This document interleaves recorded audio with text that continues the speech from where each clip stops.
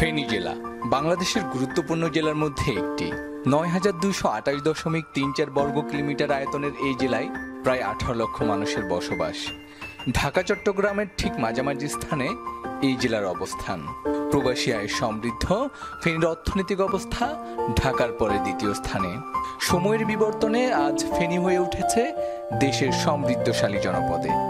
প্রায় তিন হাজার একর জায়গা জুড়ে দেশের বৃহত্তর ইপিজেড তৈরি হচ্ছে ফেনীতেই।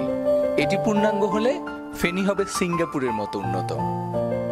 ফেনীর অনলাইন উদ্যোক্তা, ব্যবসায়ী, শিক্ষা প্রতিষ্ঠান, অফিস আদালত সহ বিভিন্ন প্রতিষ্ঠান তাদের ডকুমেন্টস ও পার্সেল পাঠাতে বিভিন্ন ধরনের ঝামেলার সম্মুখীন হয়।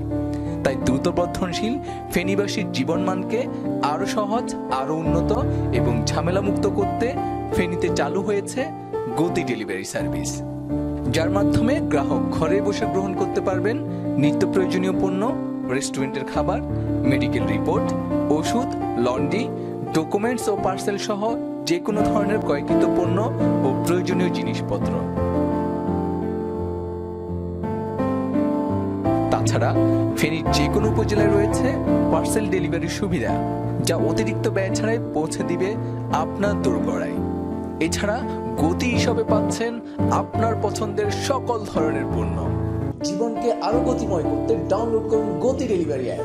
বিস্তারিত জানতে ভিজিট করুন W W dot Gati eshop dot com order করতে কল করুন শূন্য এক নয় নয় নয় নয় পাঁচ আট সাত শূন্য আট।